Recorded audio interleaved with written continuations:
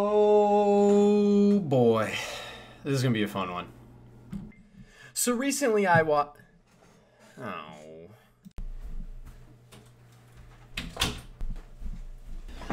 So recently I watched Jim Sterling's video titled The Addictive Cost of Video Game Monetization.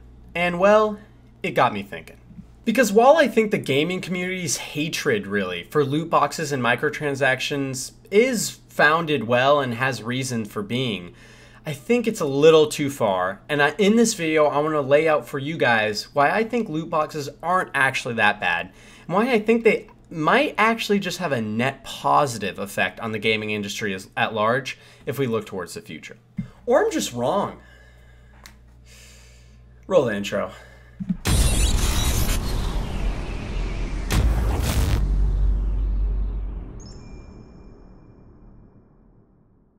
So before we get started, I do want to lay some groundwork for you guys just to distinguish the kind of loot boxes I'm talking about when I say they're good.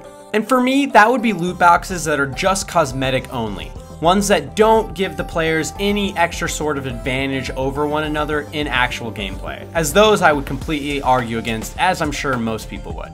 But today, I'm going to be talking about strictly cosmetic loot boxes and cosmetics. Let's get started. So the first argument I want to make in favor of loot boxes and microtransactions in games today is actually just the pros outweigh the cons. And what I mean by this is while yes, it does suck that you can be in a lobby for your new favorite game and just be constantly nagged to buy new and impressive cosmetic things, I think overall these additions actually help.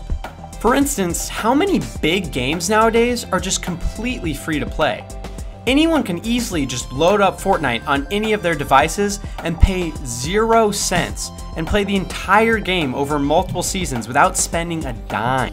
This isn't because my boy Tim Sweeney Todd is just a saint and wants to help everyone out.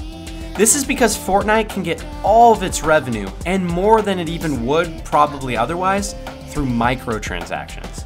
And while these Fortnite $20 skins can be seen as pretty predatory, especially to younger players, we'll, we'll get to that in a moment, it still doesn't take away from the fact that young or old players alike can play all of these games for completely free. And I think this is a kind of point that a lot of people just brush over. Before games all were at least like $60 and up, you know, some Steam games were less for indies, but Regardless, these games are completely free and opens up gaming to a wide variety of audience that otherwise wouldn't have even put $10 down just to get started. What microtransactions do is essentially allow the player themselves to choose how much they want to fund this project they're playing. Are you playing Fortnite every night for hours? Yeah, it probably shouldn't be an issue for you to send them a few bucks, right? They're supplying you so much entertainment. But this also allows people to just come in and try the game and say, hey, I don't like this at all. I played it for a few weeks and I'm just going to set it to the side without spending any money. Another thing that microtransactions do, especially for these multiplayer games, is help them keep up their server costs. As a software developer myself, I know that server costs these days can be quite expensive, and allowing developers a way to pay for these services in perpetuity through microtransactions is just another huge benefit. But where I do think some issues can really arise is when gameplay systems and the game itself is changed in order to kind of nudge players in the way of purchasing different microtransactions and outfits. For instance, if a developer makes a game extremely grindy and just a haul to get through, just so that players will purchase, you know, say EXP boosts, that's a problem. But that's a problem that I don't think we should just doom microtransactions because of. These are choices made by developers that we can just disdain on their own and cause developers to stop doing.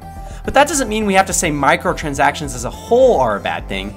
They should only be bad when they're implemented in ways like this. Because at the end of the day, there's always going to be companies trying to get that extra dime out of people and doing scummy things.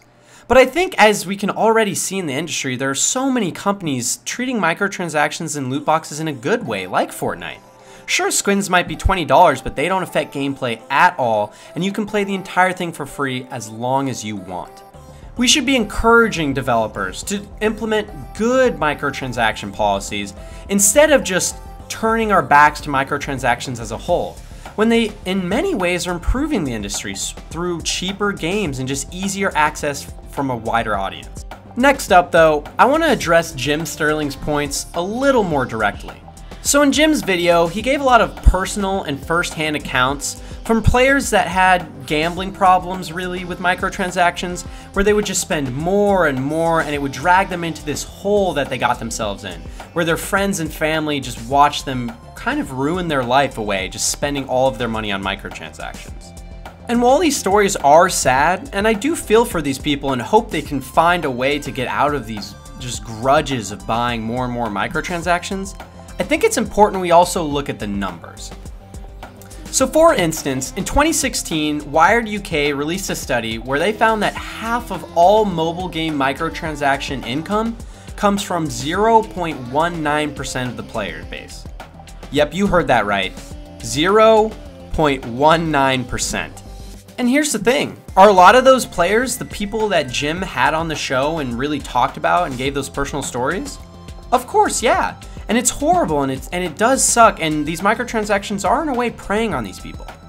But when you're talking about 0.19% of your player base, I don't know if we can necessarily call that an epidemic or problem. And that's really my whole gist with microtransactions I'm trying to get across to you guys in this video. Because even if microtransactions are predatory in some ways, especially to gambling types, and have their drawbacks, overall there's just so many benefits that I've already gone through that outweigh these so much, especially when you look at the numbers of people that are truly affected by things like this. Because there does come a point where people have to own up to their own personal responsibility. Yes, are microtransactions going to affect some players more than others and make it almost impossible, even based on maybe brain chemistry, to just not keep buying and buying? Maybe. But at the end of the day, if this is just a super small majority of the entire player base, I don't think it's something we should really derive that much attention from. Should we try to help these players in, in any way we can? Of course. But we shouldn't all be out parading microtransactions and how bad they are every day on Reddit and YouTube, just because there's a few players it's affecting. Let's try and help these players out as much as we can, but let's not take away all the benefits of microtransactions like free games and easy access while we're at it. But if I haven't convinced you guys already, let's talk a little bit more about who exactly is paying for all these microtransactions. Not with feelings and anecdotes, but with cold, hard study and facts. So for instance, MocoSpace, the largest mobile gaming community in North America, conducted a study where they found players between the age of 18 to 25 in mobile games, only 10% of that range actually bought virtual goods. With players at the age of 45 years or older buying at a rate of 70% of their pool. And what this shows us is that the large majority of microtransaction purchases, at least on mobile, and we can uh, safely assume this will carry over to other environments as well, the large majority is much older male men. And this just goes to show that the narrative that the gaming community likes to spit out a lot, that these microtransactions are preying on kids and forcing them to buy things, it just might not be fully true. But wait, I know what you guys are thinking. Maybe the reason all these purchases are from older people is because, well, it's kids getting their parents to buy things, right? But at that point, I think I just have a simple answer to that, and that's tough shit. Honestly, at the end of the day, if a parent is willing to give their child a credit card, and they can willingly see these purchases happening on their bank statements every month, if they don't go and stop this, that's their fault, not the video game industry for having microtransactions in the first place. With great power comes great responsibility, but I think in this case, there's really just great power with very little responsibility, and there's just a lot of adults not really taking any onus at all.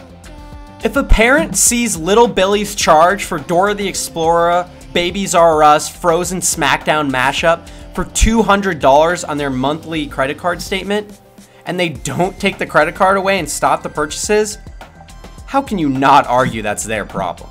And hell, let's just go even further back. The, the younger kid should not be in charge of a credit card unless the parent is very well aware of what's happening anyways. At the end of the day, none of these purchases should be occurring from younger children. It should always at least be going through an adult that knowingly knows what's going on. And if they don't, well, hey, you gotta start parenting a little better, right? And on top of this, like I already said, this really narrows down the target group that this could affect a lot to just people that have gambling issues. And as I've already said, this is a small minority of the entire gaming community, and I think because of that, we should focus more on helping them instead of just taking away microtransactions and taking away all the positive benefits from the many because of the few. But yeah, guys, that's really all I wanted to talk about for the subject. If you guys enjoyed the video or want to support, feel free to like and subscribe. Also, if you guys want to talk about topics like this live, feel free to check out my twitch.tv uh, link down below. I'd really appreciate that as well, guys. Because at the end of the day, all I'm really trying to say here is, well, games are an art, and they are beautiful, and they should always strive to be the best they can.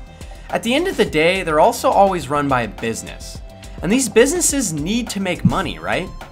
Games many years ago used to be 60 bucks, and even with inflation, that hasn't really changed.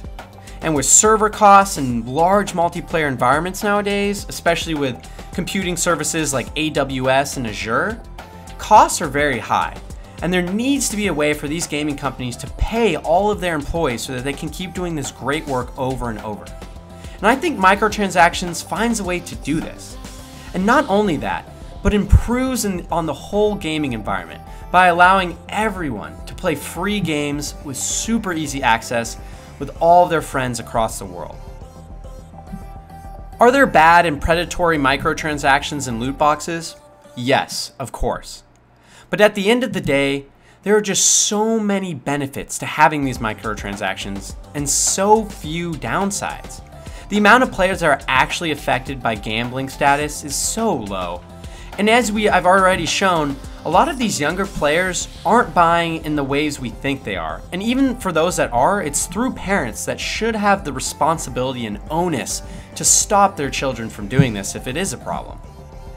At the end of the day, microtransactions will help gaming in the future and will help it grow already past the huge growth it's had in the past few years. And I hope people can see past the blind hatred on Reddit and YouTube for microtransactions and loot boxes. And instead, just focus on asking the developers to implement it in the right way. Because I think when done like that, it's a really great thing for gaming. Thanks for watching, guys.